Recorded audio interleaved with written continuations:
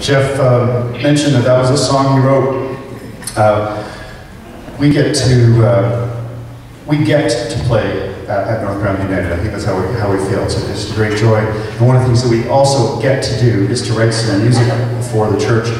And uh, uh, Jeff and I have both got a, a, couple, a piece that we'd like to uh, to introduce to you to, to play for you that are um, a Christian gospel um,